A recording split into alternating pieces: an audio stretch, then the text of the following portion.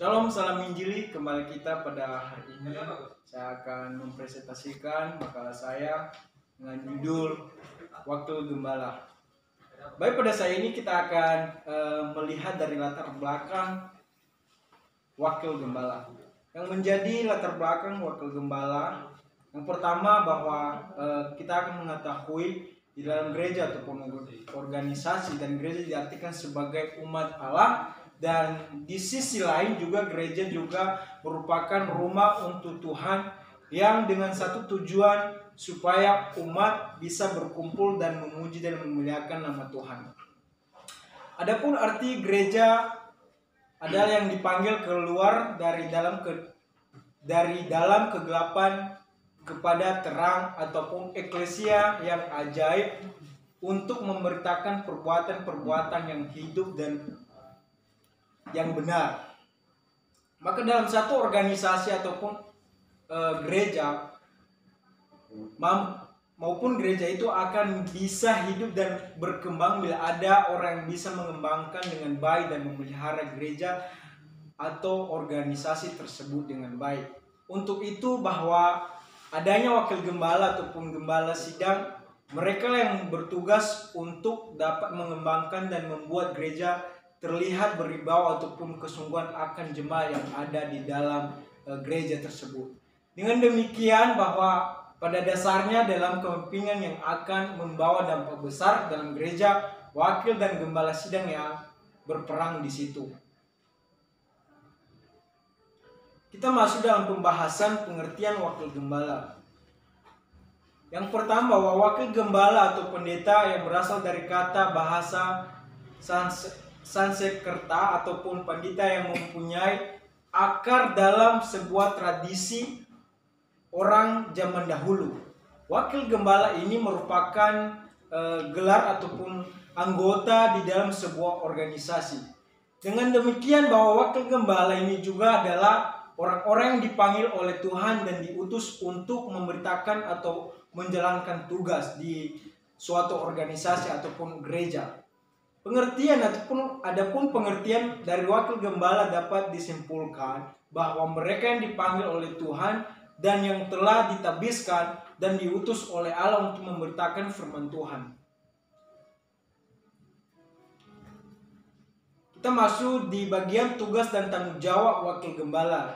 Yang pertama, bahwa sebagai wakil gembala yang sudah ditabiskan oleh seorang pendeta atau yang disetujui para jemaat dalam gereja ataupun organisasi maka tidak dianggap sebagai sakramen dalam petabisan tersebut.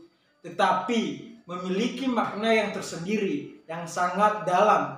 Karena dalam pentabisan tersebut merupakan proses dalam melibatkan wakil gembala dalam panggilan dan kehidupan yang sewajarnya dan yang melayani dengan sesungguhnya pada saat melayani di ladang Tuhan ataupun di gereja.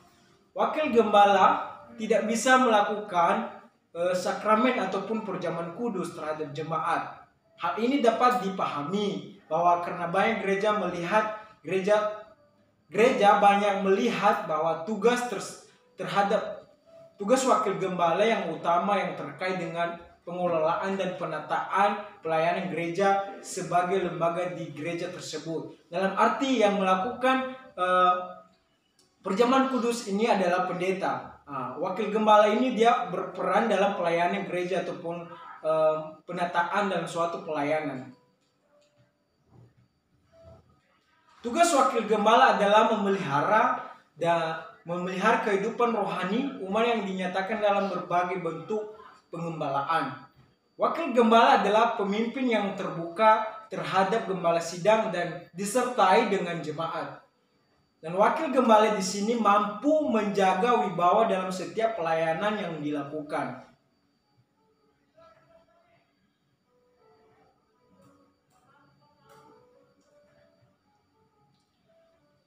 Dalam pertumbuhan dalam pelayanan, wakil gembala sebagai wakil gembala yang sudah terpilih atau yang telah diutus oleh Allah ataupun oleh Tuhan, pelayanan tersebut harus kuat dan dapat menjadi contoh yang lebih baik da dalam pelayanan itu, maka pelayanan itu akan menjadi pedoman bagi setiap orang ataupun bagi setiap jemaat. Dan wakil gembala artinya bahwa dia adalah e, bisa memuridkan e, jemaat-jemaat ataupun umat-umat. Itulah yang merupakan e, tugas wakil gembala yang e, berperan dalam penataan ataupun dalam e, melayani para jemaat yang telah ditepat dalam ditempatkan dalam suatu pelayanan sebagai wakil gembala bahwa tentu akan menjadi pedoman bagi jemaat. Artinya bahwa e, sebagai wakil gembala ini dia juga harus berperan dan dia juga harus menjadi pedoman salah satunya bagi jemaat. Untuk itu bahwa wakil gembala juga bertugas untuk dapat memuridkan jemaat.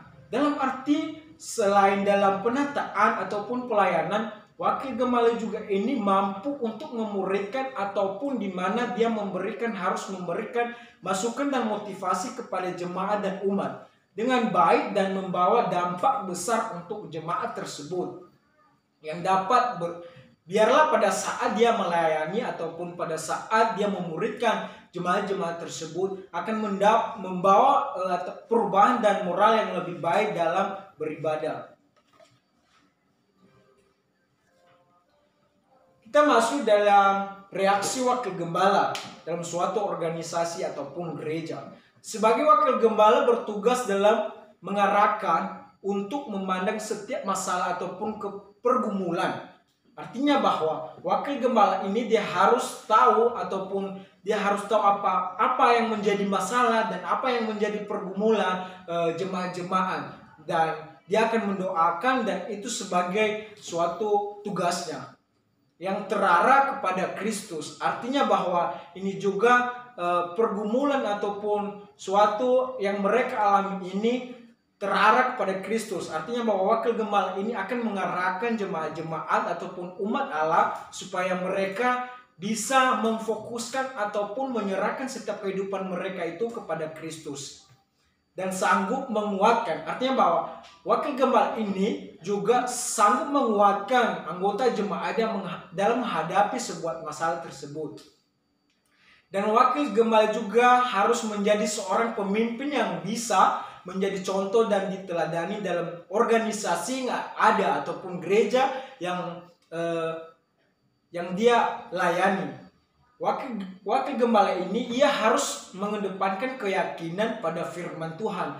Dalam arti dalam setiap masalah ataupun dalam setiap pergumulan uh, jemaat-jemaat, wakil gembala ini harus mengedepankan Tuhan atau dia harus memberikan firman ataupun ayat-ayat firman Tuhan kepada uh, jemaat ataupun kepada umat-umat yang ada. Biar mereka kuat dan biar mereka tahu bahwa segala setiap pergumulan ataupun masalah yang mereka hadapi itu ada jalannya ketika mereka mengedepankan ataupun meminta dan memohon kepada Tuhan.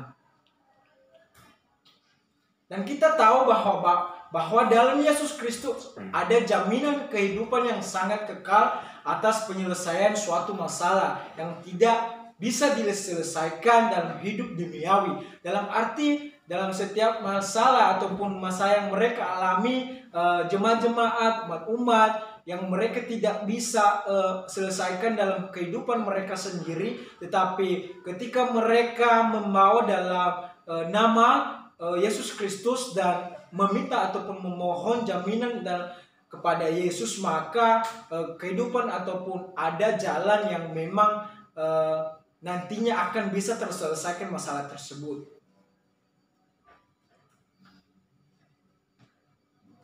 Kita akan masuk dalam uh, bagian kesimpulan.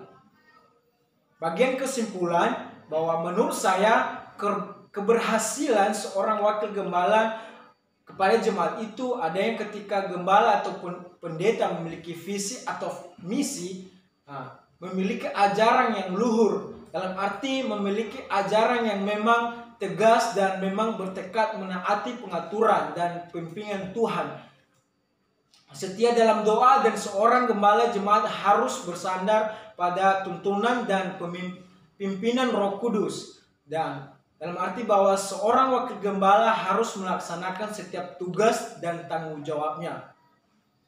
Inilah pemaparan makalah saya sebagai uh, wakil wakil gembala. Terima kasih Salam, salam Injilin.